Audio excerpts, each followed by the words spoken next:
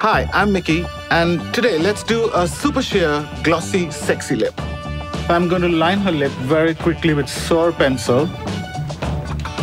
Not too strong, because we want to keep it fairly translucent because we're doing a nice glossy lip.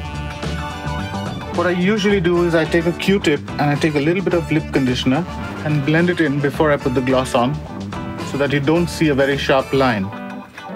Now I'm going to use lip gloss. Just fill it in and keep it fairly translucent and natural.